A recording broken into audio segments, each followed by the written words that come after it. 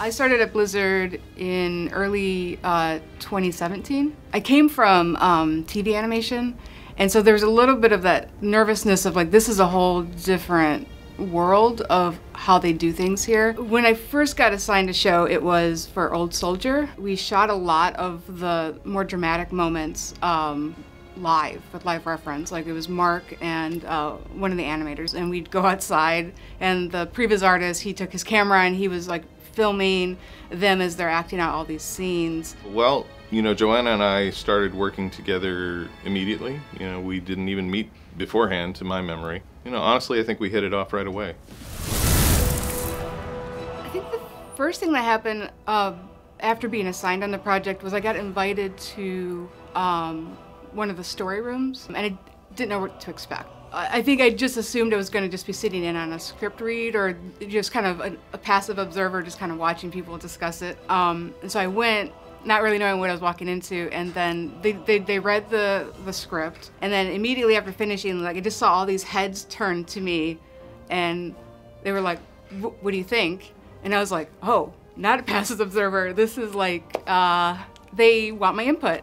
For me, it was like the validation of like this is why I wanted to come here is to have that that input on these kind of shows. Well, I think that there were already rumblings from different corners that for as good our collaboration was, maybe it could be better. Maybe there were areas where we still weren't getting the full uh, connection from people, or maybe there were people that felt left out and just weren't saying anything.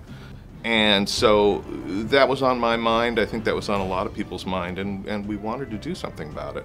Um, and I think you know that is a big part of you know what led to the story strike team.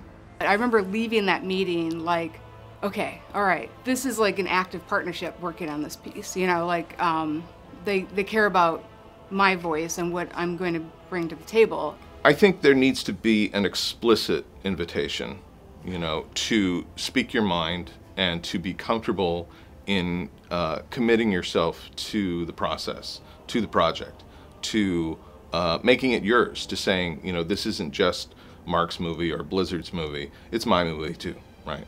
And that's what I think, you know, we tried to do with Old Soldier, and I think that's what we continue to try to do today, to speak from the heart, um, because it makes us a better work group, and it makes the movies better. That's the bottom line.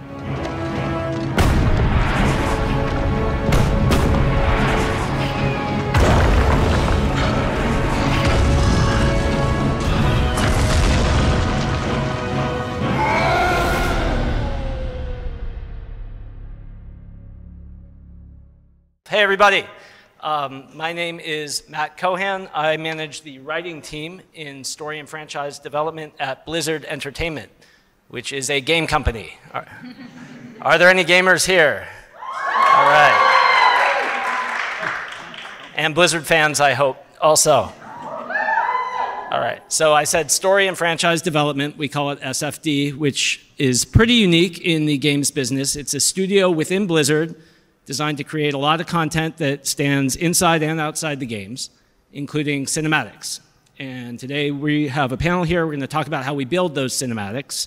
Um, and we have a few folks here from a variety of disciplines to represent their role in the strike teams that we use to create them.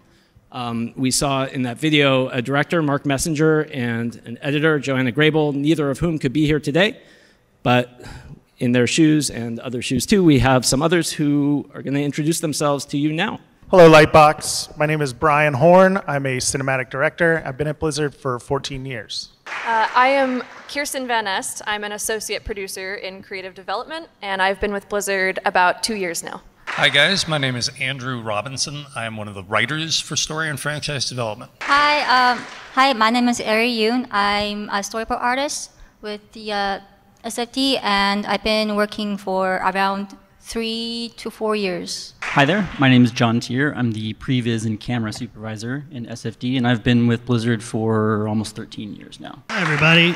My name is Jake Patton. I'm an editor and the animation editorial supervisor, and I've also been at Blizzard for 13 and a half years. And just so you don't feel deprived of how long I've been there, Uh, I've been there for nine years. So collectively, we have 560 years of experience assembled for you.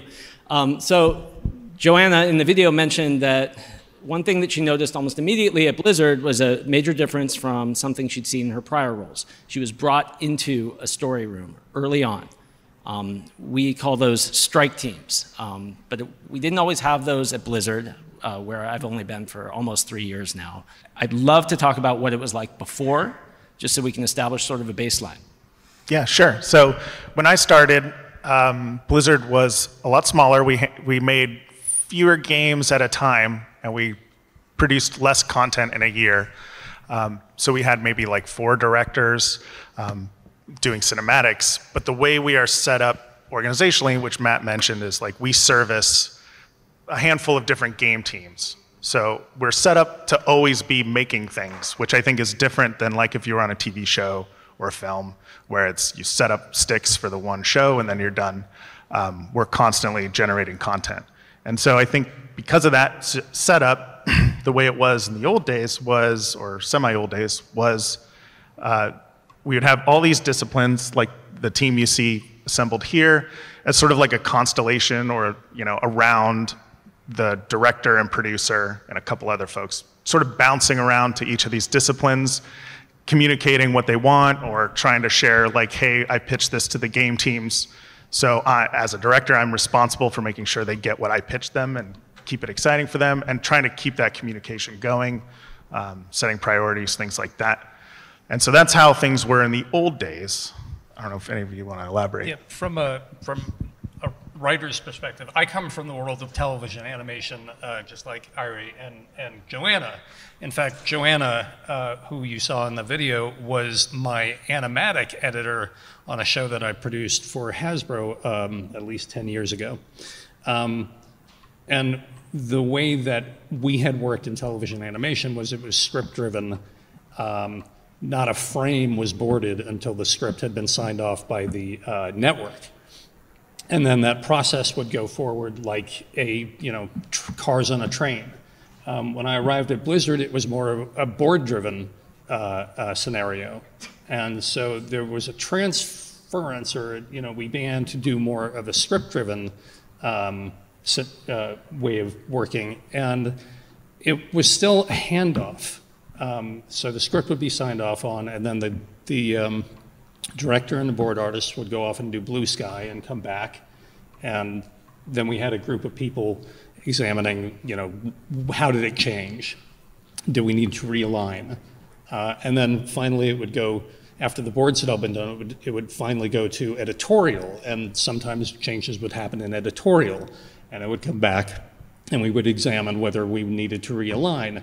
And obviously, you know, you guys have seen Blizzard videos. They're phenomenal. We, we uh, set the standard for the industry for uh, for what it's worth, I think. Um, but as we said, there was always that question, as Mark said, of can we, is there a better way to do this? Can we align more early and often? And I had a, a personal revelation when we were trying to, uh, to solve a problem. Uh, I don't know if you guys have seen uh, Rise and Shine, the Mei cinematic for Overwatch, where she's, she knows what she has to do, but she's unable to do it and we were discussing like how do we solve that? And one of our board artists and directors now who is here with us um, can i say his name? No. mike kozumi was uh, he's here was drawing on post-its. And we were going we, we just couldn't solve it. And he held up a post-it note and there was the moment that Mei is faced with the uh, you know in the open door and she's faced with the Arctic wasteland, and she, her, her boots are at the threshold, and she cannot force herself to go over the threshold, and she turns around, and we were like, oh my God, that's so emotional. And I realized, I want these guys in earlier. Um, and I think that we, we started that process a little bit then. Cool. Uh, how did the siloing that I'm hearing you talk about from the, the, sort of old, more linear, conventional way affect editorial and previs? Yeah, so basically to that point, like the, the relationship of the editor director is really strong and really tight. And uh, when we were in this sort of old way of doing things, we'd have the director sort of leave editorial and go to the writer, go to the board artist, and go to uh, the producer and, and come back to editorial. And then we'd talk, and it just became this weird shell game messaging thing. And, you know, uh, it was really clear, at least, at least to myself and my other editors, like, hey, there, there's got to be a better, better way to have the production, pre-production staff more a part of this tight-knit group and to experience uh, more uh, or have bring their experiences more to the table of what could make this piece uh, that much better. And I think we, we all sort of had that feeling. We just weren't necessarily sure how to execute and make that a reality across our different projects. Because as Brian mentioned, we had a, quite a few projects moving at different paces, different schedules, different groups for different you know clients or clients being the game team. So uh, we just never really found that sort of moment of like how to piece that together and, and really sort of corral the groups into a more sustainable creative juggernaut.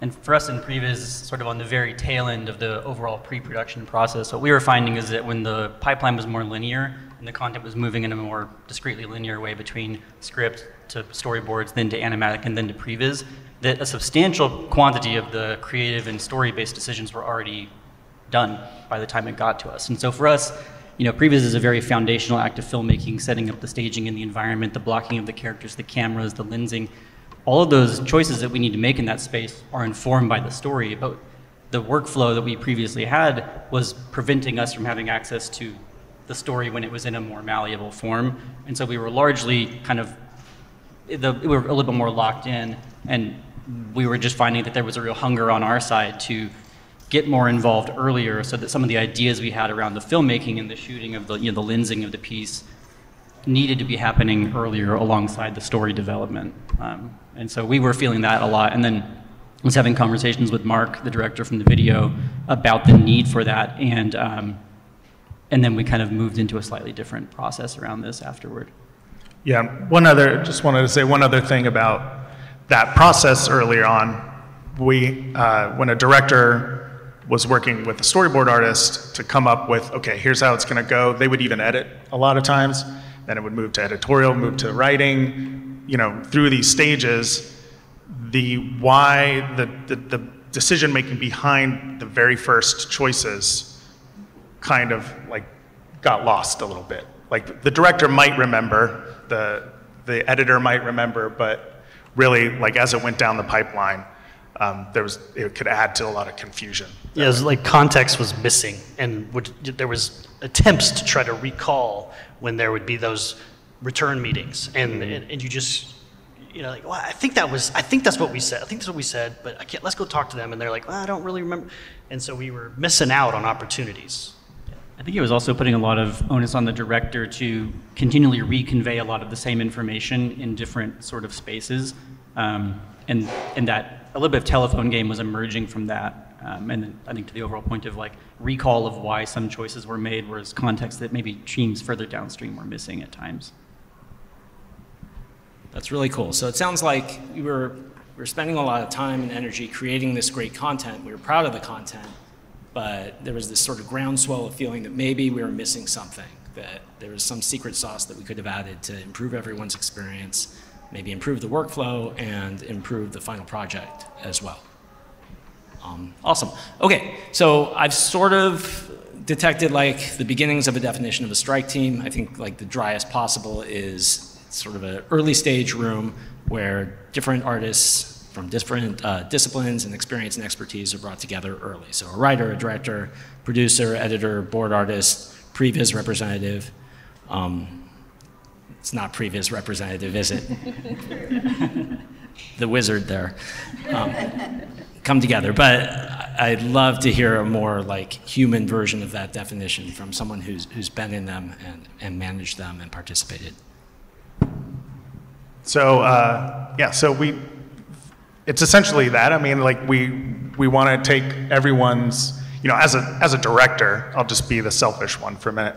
Like I want to extract everyone's expertise and leverage it to the to the greatest possible extent on my pieces, right? And so I think as a way, and I also get tired of explaining the same thing over and over again. so putting everyone in a room, getting them all together, and everyone kind of workshopping it. The way I like to think about it is that scene in Apollo 13 where they dump all the parts onto the table and they're like, okay, we have to make an air filter out of these things, and we have 30 minutes or whatever it is. Um, it feels like that, and the energy, the energy contributes significantly to what we're making. So. Yeah, I would say too, from a production side of things, uh, this process really helps because when everyone is in the room at the same time, able to give their ideas and are invited to give their ideas, I think of production like the black box of the airplane. So if the plane goes down, which thankfully it hasn't so far, but if it does, um, I can be kind of a living, walking history of everything that's happened in the room. And on top of that, with everyone in the room at every stage, it kind of helps you guys and it helps us that you're all hearing the ideas as they come out. So we're not having to repeat ideas that maybe didn't work in the past. And on the other side of that, if we need to solve a problem and we're not sure what to do about it, there may have been an idea that was pitched weeks ago that could be the exact solve for what we're looking for right now. So production folks and those that were in the room before can be like, well, what about this thing that Ari pitched like, you know, last month? And that could be exactly what we need now that the story has changed. Speaking of Ari. Oh. Uh, yeah, um, like my experience um, in this strike team was, I'm, I'm, first of all, I came from TV animation, so I'm so used to the, I guess, even the Blizzard's like previous pipeline of just like, yeah, like the whole linear like trail of like a, like a train uh, going through the tracks. And I've gotten so used to My brain was just wired to that. So when I first came and then they asked for my feedback on the story, I was like kind of frozen. Was like, what? They want my input? Like, I, I feel so like honored, but also I don't know what to say. um, but um, but it was really awesome for being in a like a safe space of like just even if it's like a dumb idea, no one's gonna like, judge you.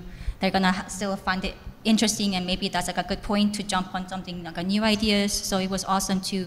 Um, not be not feel like I have to be in a lane like or, or stay in my like lane or stay in my room kind of thing um, and also it's just really great to explore ideas with everyone with like you know everyone's brain and to get just mesh into one so it was like really fun yeah, that's something I noticed that's pretty unique about Blizzard as well, because in my experience, production is very like time and budget oriented. But coming to Blizzard, it was like, like Ari was saying, and like Joanna said in the video, they want to know your feedback if you're in that room. And that was something that I found very unique and I think is really helpful because even though we're all in our own disciplines, sometimes it helps to get an outside point of view to be like, this is working for me or this isn't. And then the person whose role it is in the room to help solve that is able to kind of get that feedback in real time. Um, there, to that point, and, and to what Ari said, there's one of the tenets of Blizzard's values is that every voice matters. And it's never more true than it is in our creative space that the strike team is composed of different disciplines, but everybody who's in that room deserves to be in that room and is not only welcome to voice their opinion, but is expected to voice their opinion. Uh, because the most creative solves can come from anywhere. Uh, and it is not just on the writer to solve a script problem. Somebody can, anybody can suggest a piece of dialogue or a turn, a plot turn. And the, the important thing is not as a writer, that's my job. The important thing is what's the best thing for the project? What's, you know, and, and I think as a result, while we all own our disciplines, we have become through the, the, the experience of the strike team, we, have, we hold them less tightly. We acknowledge that everybody can contribute to uh, something that is not our specialty.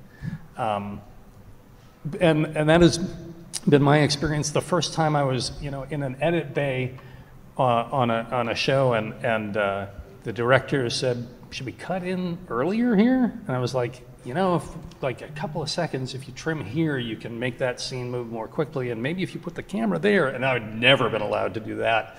And the fact that they took that note was amazing. It made me feel like I had a role beyond, all right, the script is done, bye-bye. Uh, even to the, to the degree of being allowed to voice direct scratch track to increase the, you know, this is what was in my head. It's really going to help the emotional moment if you say it like this. And I don't, you know, you try not to give them the read, but it's scratch track. Um, so yeah, uh, everybody contributes. I- I'm just speaking from the editorial perspective, which, you know, I, I like to view, view editorial as the injection point of all these ideas. And, you know, once we get past sort of this, the, the rigidity of what I think a lot of people experience outside of Blizzard can be stay in your lane, stay in your discipline. But in this space, what we were trying to achieve is like all of you artists, all of you have different experiences, you have different upbringings, different perspectives on the world around you.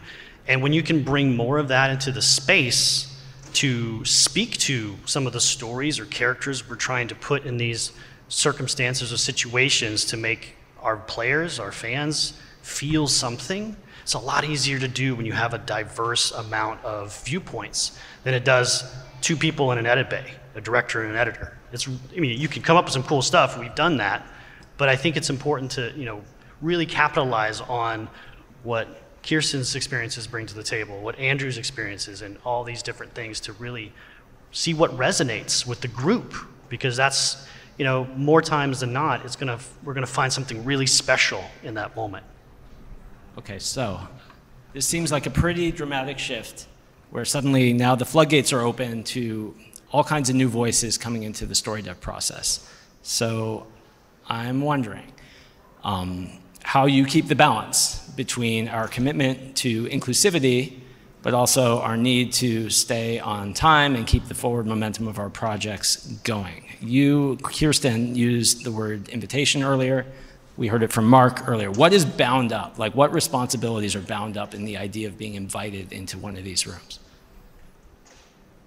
I guess, I guess what you're getting at is um, like all this sounds great, and it's great to throw ideas around and to have everyone pitch in and like, oh, that's really cool and that's really cool.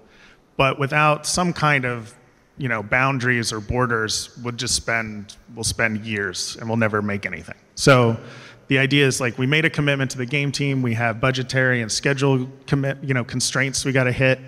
Um, and so those things are obviously at play, and the director and producer are the, kind of the, the ones who are in charge of those things. Um, but I think it's, it's up to us to invite those other things into, invite people to, like, like Mark had said, um, to pull people into it and to pull ideas out of them. Because sometimes some people are very free with their ideas and they're just idea generating machines and they may have like a thousand things, but there's one person sitting back thinking, I'm not going to throw mine out. It's it's stupid co- compared to that guy's or whatever. Um, but uh, what we've seen a lot is when you pull that out of someone and you give them the space to share that, um, that actually we can leverage that. Even it may work and they were wrong, or it doesn't work, but it leads us to the right thing. Um, so anyway, Yeah, I, I bet everyone in the room here is, has been in uh, a situation where they go like, all right, this is a terrible idea, but. and sometimes that idea is the key. Sometimes it's not the key, but it might spark the discussion that leads to the solve. So we say there are no bad ideas uh, in the sense that even that, and I'm famous for like, I have a terrible idea, and it's honestly terrible, but it might start us talking about the thing that works, um, and that's valuable in itself. Circling back to the idea of the invitation being really important, I think it's the invitation to the room, but also the invitation to participate in the room. Because just being in a meeting is can, I think that's easy to interpret as a passive observer of the, what's happening in the meeting and the creative conversations. But being prompted explicitly for your feedback is important. And I think an important thing too is we're talking about a space where a lot of ideas are being exchanged, and you know, terrible ideas are being thrown out as they may be framed. But um, one thing that can come up in that room that I think is a real challenge is what if you disagree with everybody else in the room? And it's really hard to find a voice in that kind of moment. And so that's where an invitation can actually help you kind of like, you know what, I'm going to say something that's contrary to what everybody else in this room is vibing on, like for a story right now. And just to share an anecdote that Mark has shared with me since he's not here today, the first time we were doing the Story Strike team, they had gone through a lot of development, a lot of reference shooting, and kind of like had an, an edit they were really happy with. And then the previs artist uh, said, I don't buy it. Like the story isn't resonating for me because of this particular turn. And Mark's anecdote was it was really hard to hear that, and it was really hard to accept that like that was a very counter opinion. But they talked through it, and 15 minutes later they had a better a better story because they had addressed his underlying concern um, and come out better on the end of it. Agreed. And Mark relayed like when that comment came out, I don't buy it. He was kind of irritated. Like we just spent weeks building this and everybody else loves it. Why don't you love it? And he had to remind himself, this is what I asked for. And this is the proof of it. How do I respond to this? And uh, I think that was the moment of the key turning in the lock that opened the door to make us all realize, like, oh, yeah, this is going to be a thing. It really sets the tone for the room, though. Like, you have to be willing to, you know, hear that feedback that, oh man, I really, we're, we're, we're done. What, we're, why are we here now? And then, it, then you, you embrace it. And that's, that's the key to having these strike teams be successful and comfortable and why that when we're in these groups because it's it's a bunch of different people back at the, uh, the, the studio that will get thrust into these groups. Some are old, familiar colleagues, and sometimes like, hey, that person like Joanna, she just started and she's now in this room and wow, everybody's looking at her. Like it, can be a little bit daunting, but I think it's important to make sure to you know make, normalize the room as far as like everybody's appreciated, everybody's expected to participate but everybody is welcome. And if your bad idea, or you have a bad idea, it's not until uh, it becomes a good idea in your brain because sometimes like they, they hit it at this germ like ah, I've, I've put so many bad ideas into play and they blossom into a solve through two or three people like well, what, what if instead of that it's this and it's and you add this and then the next thing you know we've got an amazing cinematic like old soldier yeah just to like add on, add on to the whole like the invitation thing, um, I guess personally as I, I guess, I, I guess I call myself like very introverted person. I'm not very outgoing person to just like bring out ideas even though it might be good or whatever. But um, I, uh, I think the room feels safe enough where even though I don't voice my opinion at the moment, I can still like, you know, slack them or maybe bring them up, bring the idea up in the uh, future meetings if I want to bring it up. So I don't feel like, I guess, pressure to bring something to the table at the moment. Um, yeah, so everyone's really accommodating to what, how everyone works, and I really appreciate that. I think it's important to acknowledge that everybody's going to engage with that kind of space in a different way. I think Brian said like there are some people who are just like they're like a fire hose of ideas, you know, and they're extroverted and like they really engage with that space. But similarly, I'm kind of an introvert, and so some of my ideas may come in deep thought later, like shower thoughts, like, oh, I've got it, you know, and it's not even in the room, but then in the next session you bring that idea in and you know discuss it. So I think acknowledging too that like different people need to engage with that space in a different way is important. Um, and to some degree, I know we've talked about like the director is kind of the person who's sort of the ultimate shot caller and sort of like helps steer this ship of where all these ideas are going because it's easy for them to run out in all different directions, but it's some of the director's job in the room to like guide all of that and keep everybody moving in a similar direction. Um, yeah, so it's just an and important I, part. And I think there's there's a level of trust when you're in the strike team because, yeah, we have these meetings and these jam sessions, but it doesn't mean that the things stop. As as Jon mentioned, like you go off from that and you're ruminating, you're thinking, you've got, oh, I need to take that back to the group, or I need to hit the director in the hall. Uh, but, the, but the key is to bring it back to the group so the, the group can participate and share in that idea, that comment, that whatever it is, just so it's not, because we, we want to avoid the siloing, we want to avoid these sort of offshoot discussions if we can.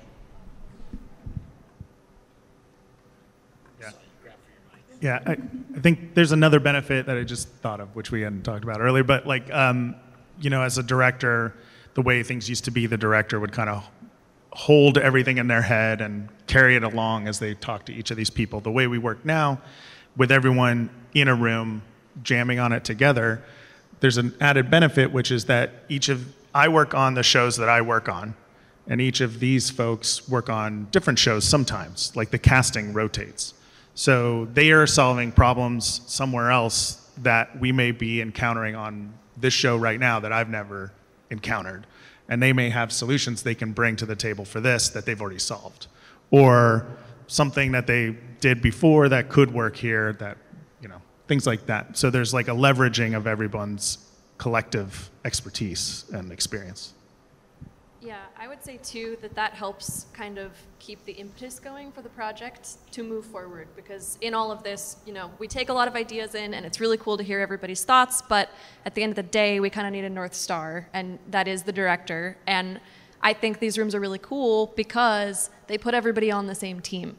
Where before it might be like, mine is the gear or the piece that's going to move this thing forward. Now it's how do we do this as a team and move in the direction we want to go, which is pretty cool. And yet we all have our individual jobs to accomplish. Out of that meeting, uh, you know, I'm going to go write the script or the outline or the beat sheet or whatever it is. Ari has boards to do. To, you know, if we're in, in boards or animatics, there may be a shift in, you know, how do we tell the scene different? Jon is going to go, you know, set camera, and, and Jake is arranging the animatic. And, and so, and very frequently, the lifeline uh, if Kiersten is in the meeting, she's not only contributing, but she's making sure that we don't forget everything. So the set of notes that comes out of that is the touchstone by which we operate. And we all make sure that we are responsible for, you know, not only contributing in the room, but do your job. so that the next meeting, we've made progress. Awesome. It feels like this all works really well as long as people trust each other respect each other, and maybe check their ego at the door. Um, when someone comes in new, either new to the company or new to the strike team for the first time, are there any tips that you give, anything you look out for, any specific things you try to model behavior wise for them?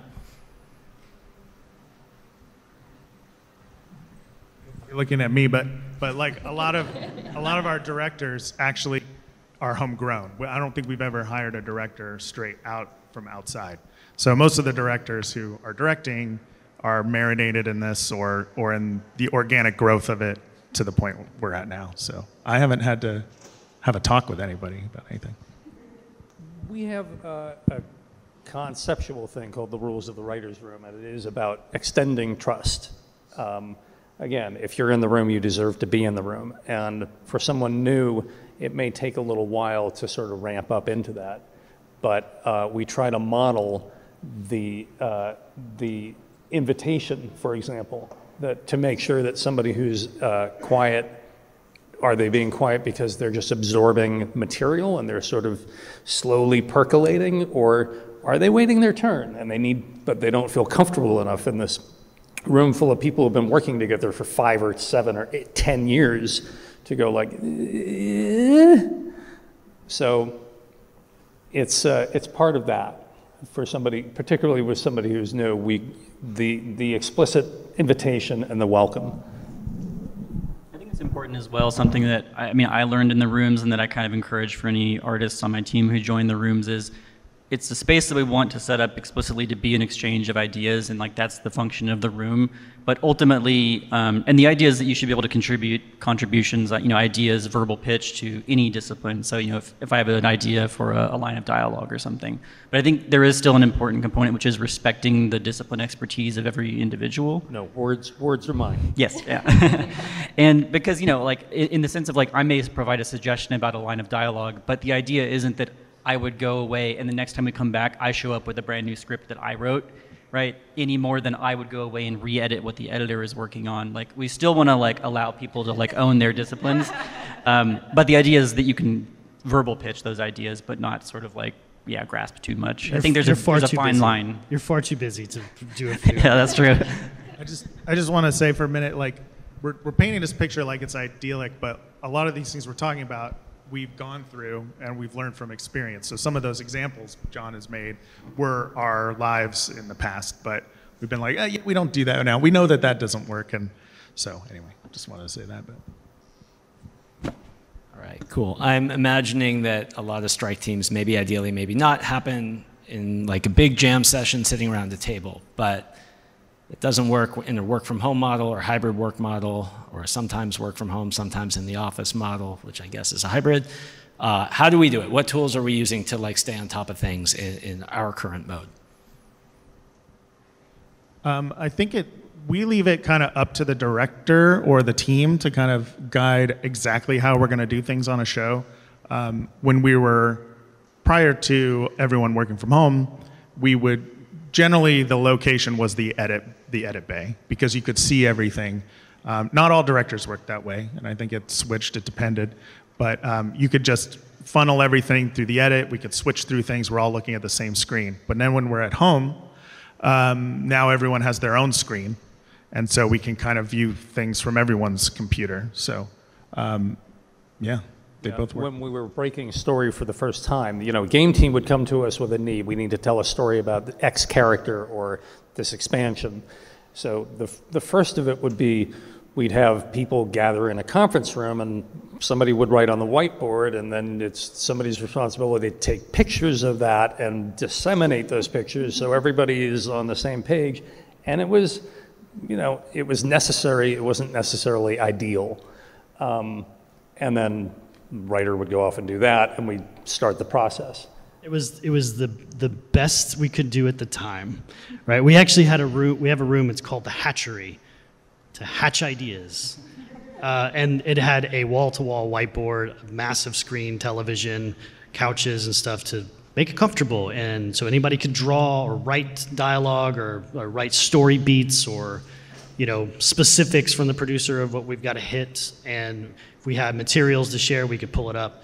But when we went to work from home, as Brian mentioned, now everybody has a screen using your favorite work from home tools.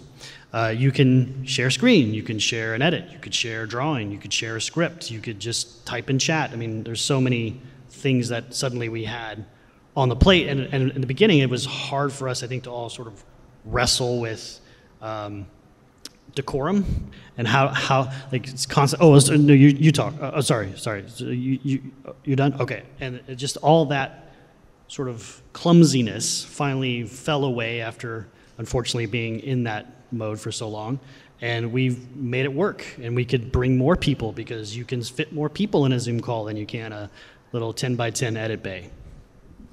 A component of that as well is, you know, once you're on a call like that, it, I think to Jake's point about decorum, it kind of encourages like in a, in a, the hatchery, like a, a room where you're all working together, a lot of smaller sub conversations can break out, pitching about this, pitching about that. But the call basically necessitates that one person is speaking at a time and it really focuses attention against what that's, what that person is saying, which is really good, but maybe also for the introverts in the room like myself, it's like, ooh, it gets a little like performative when you're, you know, all eyes on, but I think it probably helps everybody stay more focused to a certain degree, or it's encouraged discipline around communication in that way that's been positive. So. I think definitely for at least for storyboards, um, it's been a lot easier because I can just share my screen of like from the Storyboard Pro instead of me trying to be like before the meeting, five, five minutes before meeting, like I'm trying to export this like in the PDF and like oh no it's the wrong format, let me export it again, like and then try and put it in like a, a folder and so I can put it up in a different program. Like there's less of that like um, like a bunch of like different um, oh, again, unnecessary things, um, and I can uh, directly draw on top of the program to communicate what I'm trying to say in the meeting with the writers and the pre- uh, previs and everyone else. Uh, and also, I want to add, like, I think um, during the pandemic, um, it was hard. I don't think it was easy for everyone to like adjust to the new like work style.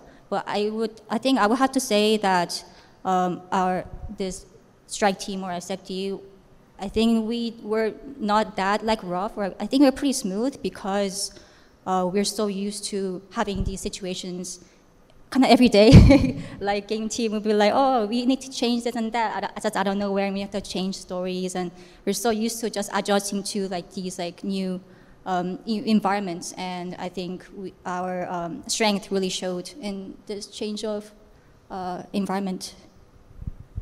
Yeah, I, I think, you know, in the before days, you'd be in a meeting room and, and there's a, a responsibility to read the room. Um, and it's easier to read body language in person. It's very hard on a Zoom call. Uh, sometimes somebody's camera's not even on. You're not even sure if they're there. Um, but as, as these guys said, we, we did adjust. Uh, we found a way to make it work. And something that we picked up in that time that you know everybody working from home was we started using uh, boards, and we could then pop that Miro board onto the Zoom and have everybody look at it, and you can everybody can write on it at the same time. So you're all it's a new way, and you know to to contribute ideas to, and you can do it during downtime. And then this is what I worked on uh, between our now and our last meeting. So. Uh, and we now still use the Miro boards because sometimes somebody's, you know, working from home, other people are in the room, we'll put it up, uh, you know, in a, in a conference room on, on the big screen and we can still share that. And it, it is, I think it's been a boon um, that we can still use Miro boards and they still, uh, you know, they, they help us out. Yeah, it's uh, big fan, big fan of that shared shared space. It really helps. Uh, again, like I was mentioning in, earlier, the recall of ideas, the recall of intent, uh, suggestions, all those things. It kind of collects it all. So if we ever have to like, say, we get a sort of pivot level note from our clients, and we all have to kind of go, okay, after we commiserate about, oh man, is gonna be is gonna be tough. We sort of reach back into the Miro board and we can see, oh, actually, that might solve this new problem we have. I'm so glad we have this here. This is great. We don't have to like reinvent the wheel. Um, and also, I wanted to point out, like when you're in uh, the same space like we are here, uh, folks like Ari, who are wonderful artists, and some of you out there are, are wonderful artists too, probably don't like it when somebody else just comes up and starts drawing on top of your stuff. so Miro and Zoom and those things make that little less uh, awkward right, that's awesome. We are right on time, I'm happy to say. Uh, I have pledged to offer up a little bit of opportunity for what's Q&A. Q&A, yes, yes, yes, that's what I mean. It's time for Q&A, not time for everybody to move on with their lives. Um, if you've all got questions, this group would love to field them. Hi, I am also an associate producer for a cinematics team for a game company. And I also came from film and television. So I'm used to, so I've been negotiating between the waterfall pipeline and the uh, strike team model, and we've evolved into the strike team model. And I'm trying to think about deadlines and targets and making sure every voice is heard. And I'm thinking, what's missing between um, the traditional waterfall planning versus the strike team scrum all in together to reach our, our deadlines? I'm trying to enhance it but from your perspective, what do you think might be missing? So I will say we use kind of a combination of all of those on the production side of things. So while the creative process is very focused on strike teams and making sure everyone's idea is heard, in our production meetings, we're looking at the waterfall structure and where people need to get things in by and things like that. So for me, it's kind of finding that balance. I think that that's the hard thing to strike there, and that is sometimes what's missing in those rooms. So that really comes down to me working with the senior producers and the director to be like, what do we need to accomplish in this room today so that we can act as more of like shepherds rather than people who are saying, you must do this, you must do this, you must do this. It can be, hey, here's our goal for this meeting, let's hit it by the end. I might like for us in previs, you know, getting involved in a strike team might mean getting involved on the production earlier than we might normally have like a previs lead available to, to staff the show. And so it does require some shuffling to make their time available. But part of the idea is that by having the previs lead available in those meetings earlier, it will pay dividends later because they're that much more plugged into the story and it saves us some iterative cycles later because they already like, they've been having conversations with the director for weeks by that point. So the idea is we see the savings later by trying to make people more available sooner. I, think the way that I, that I think about it is that we have different tiers of like sort of oversight on the show, right? There's like a leadership tier, which is maybe structurally above a lot of us at the table, but this table is the on the ground team. So we're meeting every day to talk about the show, and based on where we are in the schedule, one of these expertises is like stepping forward and it's their time and we're all kind of riding along, you know, to give input on it. But uh, you know, structurally above that, like as a director, I'm working with other leaders about the show, like every month or you know, couple weeks or something. So it's more of that kind of tiered system. Thank you. Hi, I'm Nick. Um, I'm a game student, so I was wondering how do you keep communication flowing throughout the project, and how do you communicate between different disciplines? Yeah, I think I think the strike team setup helps us significantly with that because that's what it used to be was like the director would kind of own that communication flow and the producer would kind of like support sort of like chasing after the director mopping up a bit. Um, but today i think things flow a lot better. There's i think there's just naturally part of the problem where everyone kind of cares about their discipline the most. So i mean that's in all fields everywhere. So um, there's that to deal with but mostly i think this is the best solution we've found I, I mean, the producer in the room is also completely invaluable for documenting the conversation so that if somebody misses a meeting, they have a quick, they can catch up quickly. And just that history is really important. is like a communication tool. So if somebody were, like, to say, were new or brought onto the project, they can just get forwarded the whole history of all the story conversations to date and brought up to speed really quickly.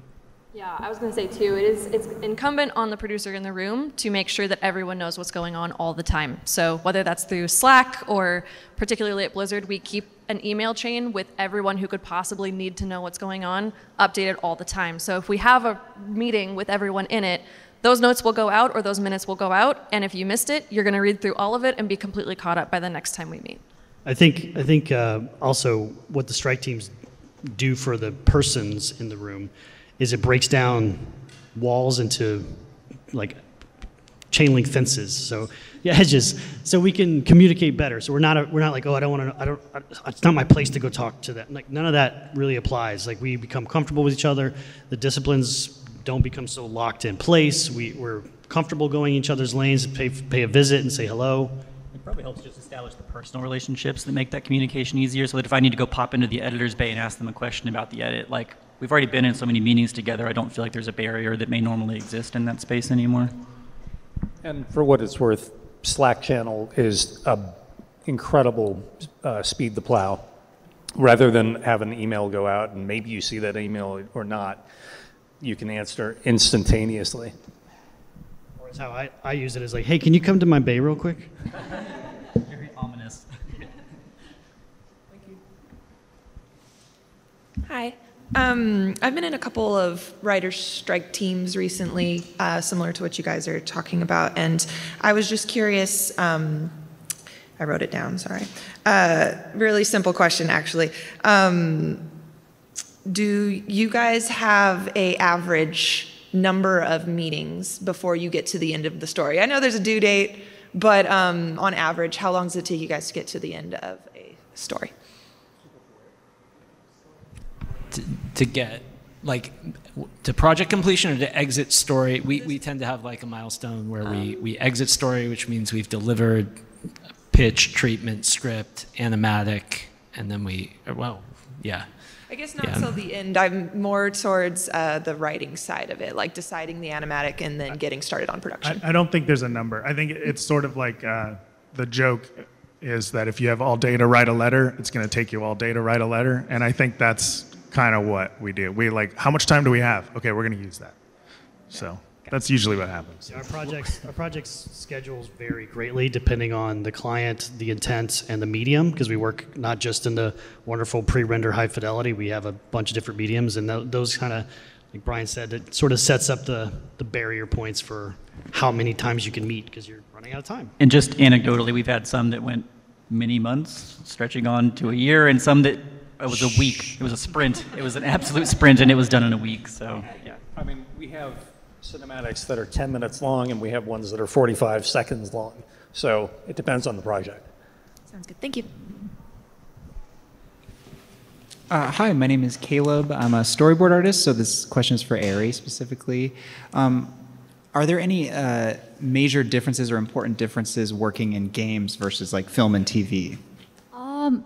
Yeah, coming from a TV animation, I think the biggest difference is um, a lot of iterations, meaning like you kinda expect the story to change so organically that whatever you drew for the boards will maybe not be used for the next meeting or whatever. So you kind of have to uh, have that kind of expectations, which also meant that my drawings became um, more rougher um, some people said that it's like a mix of TV and feature style into like a game form, uh, into like a game medium form. So I guess it's kind of like that. I think that was the biggest part, like a lot of iterations. But I think that's a fun part too. So yeah. I might even say not specific to storyboards, but just with our client as a game team is that they are themselves really talented creatives, but they are not generally probably also filmmakers. And so they have strong opinions about things, but may not have necessarily the language to articulate it in the way that you know we might have conversations about filmmaking.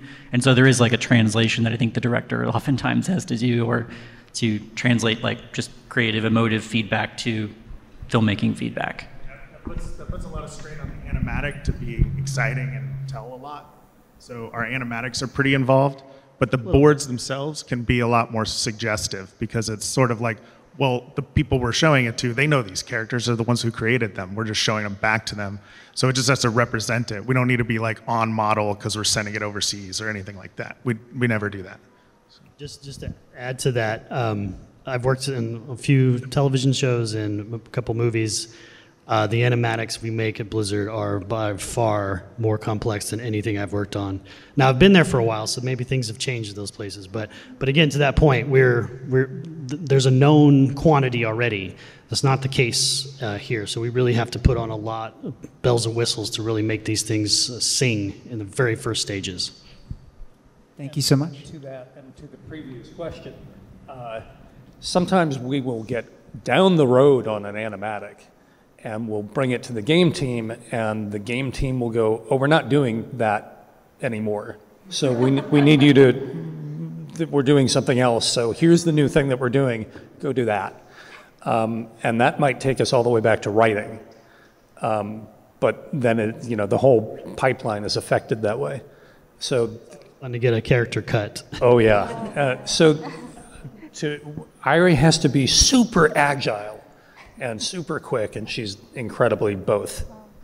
Uh, another thing I wanted to add is uh, because there's a lot of iterations um, and also heavy emphasis on the, I guess, the an, an animatic with the editor and the director. Um, whatever, I guess, even the ugliest drawings I would draw for like a rough idea, they would want to put it in the animatic. So I would have to get used to seeing my ugly drawings in like a finalized animatic form. But like the fact that the uh, the editors are uh, included in the uh, process pretty early is kind of exciting because you get to see their magic really early and kind of see the see, see it come to life. Um, yeah, and also the fact that you can.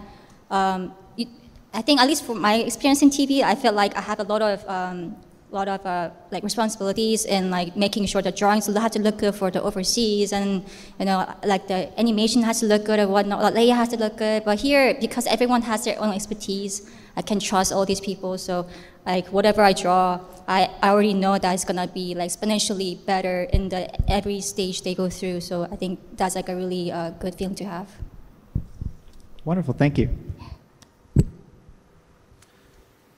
Oops. Sorry. Hi, my name is Kai. I work in the creative technologies. I actually came here because I saw Brian's post in the Discord server, the game animatics. Um, yeah, cool. So um, my question is generally about like the balance of collaboration. So one of the goals of technologies nowadays, um, and also the workflow of advanced, is actually bringing people more and more together in the creative process. Um, for example, you know, know, no, like um, Epic, Unreal, they're doing like they're trying to like advertise their parallel workflow compared to a traditional linear one. So the goal is to try and like um, get the creative people um, more together and get real-time feedbacks to get like the quality of the stuff um, better.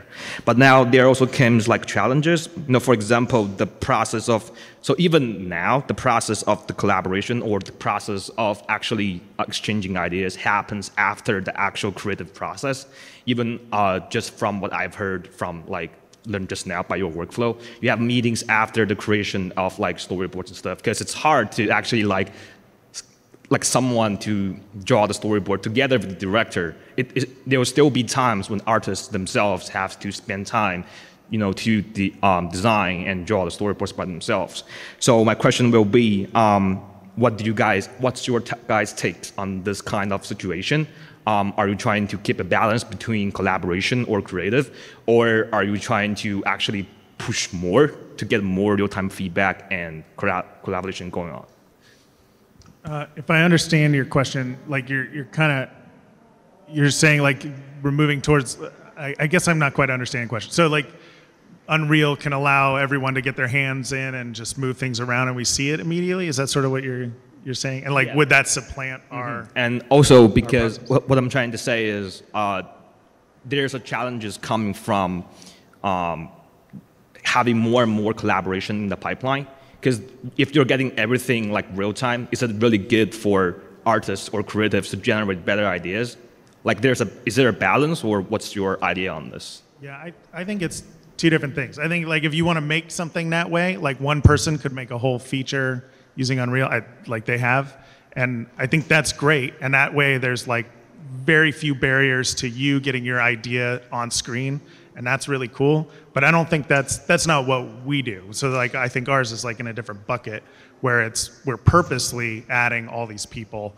And then, yeah, it does slow things down. It does make it more expensive, but we think the, the product is more representative of what we're trying to do. Yeah, I think I would say too that you know even in a space like Unreal may make it more capable and other tools in the future for like let's say previs animation effects and lighting to all be working at once like more downstream shot centric teams, but a lot of teams still don't want to start their work against a shot until the preceding team is far enough along that we can say we're committed to it. Like camera is really important. A lot of effects and a lot of lighting are really played to camera.